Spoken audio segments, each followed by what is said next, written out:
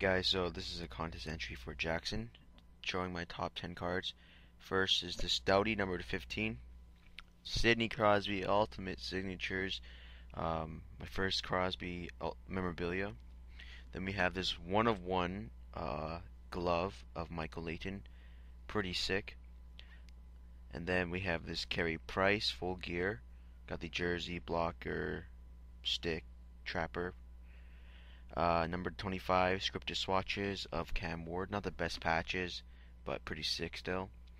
Uh, number 25, Upper Deck Black, Kari Lehtonen, and Kovalchuk dual patch. Those are some nice patches. Then we have Steve Mason, number 25.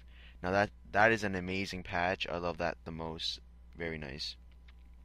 This Upper Deck Black dual game night ticket of Thornton Miller. Uh, another sick card.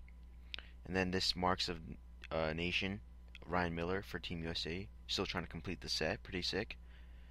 Uh, then we have this Halak number to five, of course, and that's about it. And also for fun, I'm going to be showing my other favorite cards. So guys, go check them out. Jackson's link will be down below. That'll be it.